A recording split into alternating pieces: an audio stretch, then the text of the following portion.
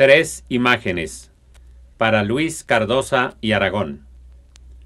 La noche del cuartel fría y señera vigila a sus hijos prodigiosos. La arena de los patios se arremolina y desaparece en el fondo del cielo. En su pieza, el capitán reza las oraciones y olvida sus antiguas culpas, mientras su perro orina contra la tensa piel de los tambores.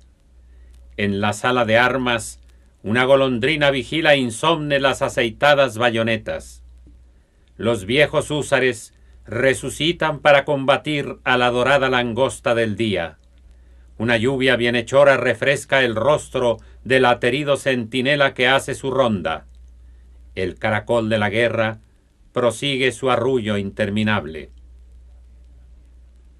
Esta pieza de hotel donde ha dormido un asesino, esta familia de acróbatas con una nube azul en las pupilas, este delicado aparato que fabrica gardenias, esta oscura mariposa de torpe vuelo, este rebaño de alces, han viajado juntos mucho tiempo y jamás han sido amigos.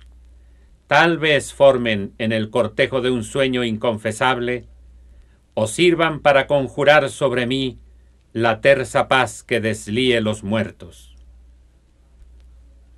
Una gran flauta de piedra señala el lugar de los sacrificios.